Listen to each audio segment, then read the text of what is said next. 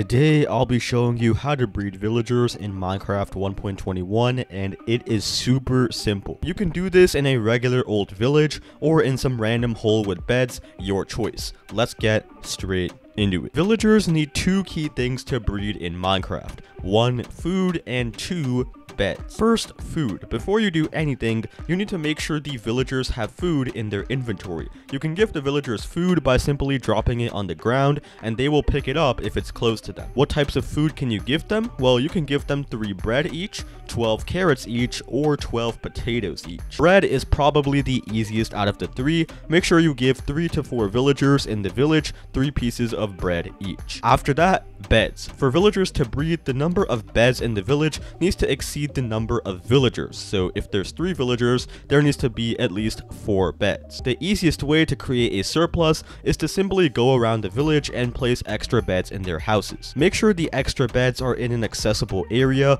Don't put a bed on a roof thinking it's going to work. One more thing to note, villagers will not breed during work hours. They'll only breed after their work is done or during the town meeting. During this, they will enter love mode, where they will create a baby villager. After this, the villager cannot breed for another 5 minutes. If you guys did enjoy this video, then please consider dropping a like and a sub, and as always, I will see you in the next one. Goodbye.